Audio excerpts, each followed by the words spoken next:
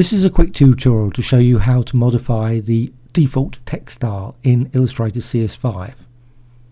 Right, I've just got some select text here and you will see it will be Myriad Pro.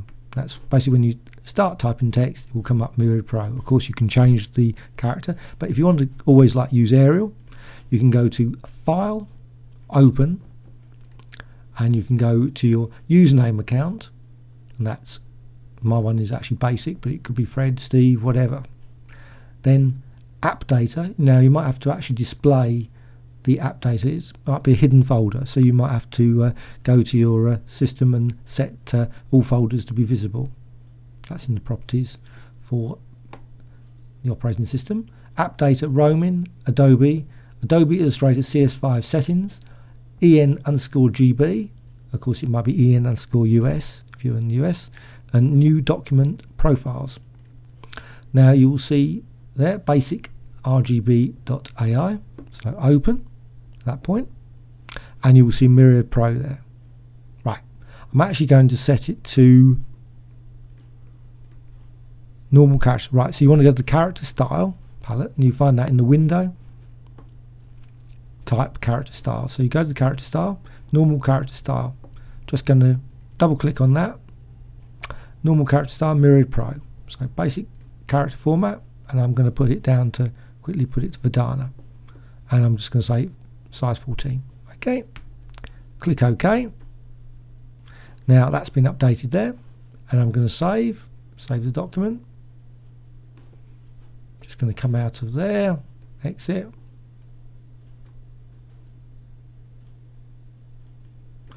Quickly start it up again just to right let's start it up new new document, basic RGB, click OK, click text, and it's Verdana. So instead of Myriad Pro appearing, you've actually got Verdana appearing. So that's a quick and easy way of modifying.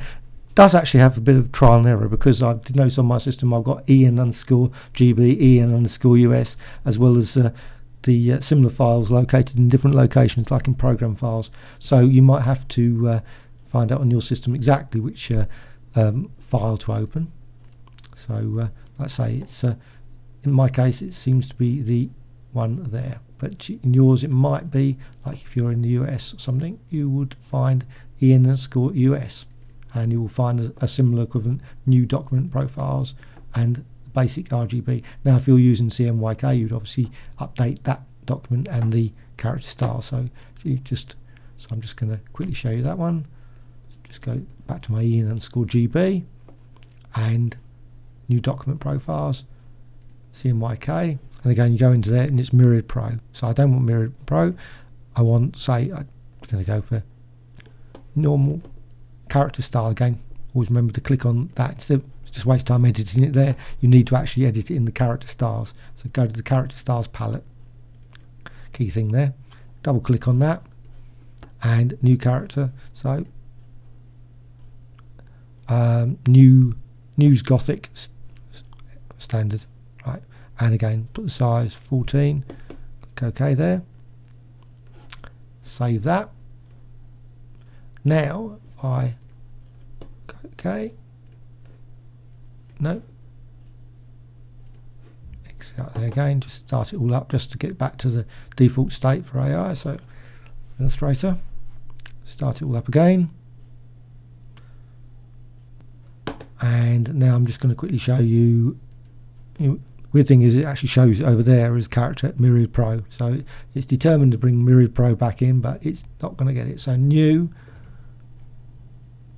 and instead of CM I'm just going to go to the basic CMYK click OK and now voila news gothic STD so that's your start text. So if you start typing with text you will see news gothic STD now on the Mac the location is slightly different and you might gain a bit of trial and error to actually find where it's actually located but it should be in your users account and in your library folder for under application support Adobe and then Adobe Illustrator CS4, CS5, whatever, and you will find it in en underscore us and then basic underscore rgb dot ai again.